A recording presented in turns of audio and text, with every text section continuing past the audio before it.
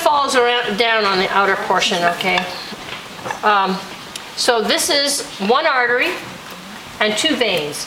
Arteries tend to be deep, and when they're deep and accompanied by veins, usually you have one artery and two veins.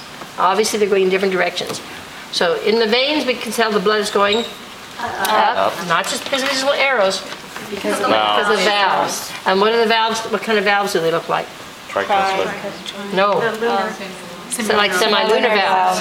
No chordae tendineae, no papillary muscles. So they look like semi-lunar valves, okay? And obviously, when it goes this way, it closes up. When it goes this way, it opens up, okay? Uh, what, how do we get blood back from the tissues? What sort of mechanisms do we have? Osmosis? No. No, the capillaries. No. What are you talking? Wait, How does blood get back to the heart that's going through the veins? Gravity does not help, it hurts. no, the pumping, There are like pressure, three or four things muscular. pressure. Okay, so there is a s- a slight pressure gradient, but not very much, okay? Skeletal muscle movements, which is the, okay, the ske- uh, skeletal pump, okay? And then we, breathing, that's uh, the respiratory pump, because changes in the thoracic cavity make this larger and less pressure there than in the abdominal, so that pushes blood back up. Okay, um, so those are our different ways we use to get blood back to the heart. And also even- even just the uh, blood going into the atria kind of helps pull it in. Um, So the inner lining is called what? Internal. Interna or intima, okay, and what kind of cells are there? Simple-squamous, so they're called endothelium. And then the next layer is the tunica media. And uh, so what's, is it, is it especially thick where? Artery or On the vein? artery. Artery, what's in it, the tunica media? Muscle, what kind of muscle? Smooth muscle. What else? Elastic fibers. Also, we have these uh, internal elastic lamina and external elastic lamina.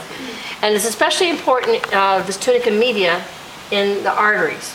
Okay, The arteries near the heart has a- especially a lot of elastic tissue so they can stretch and recoil. Stretch and recoil helps maintain the pressure so it doesn't go sky high and drop, okay?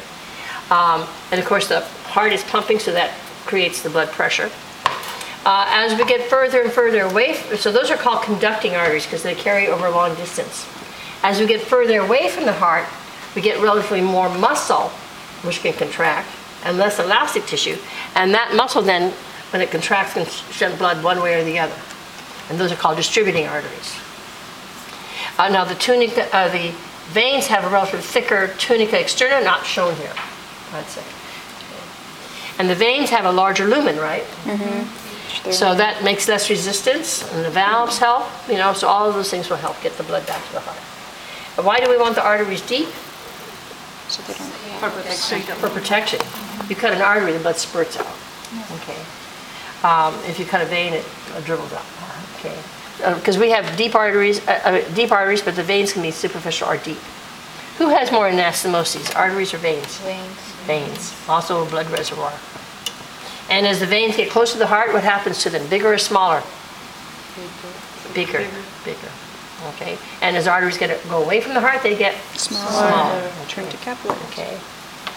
And here is a model showing the pancreas, head and tail and body, pancreatic duct. This is the duodenum, the first part of the small intestine, and what's this called? Spleen. Okay, That's all we need to know about model. I think so for now. Can you go back? For now. Later. Can you repeat that?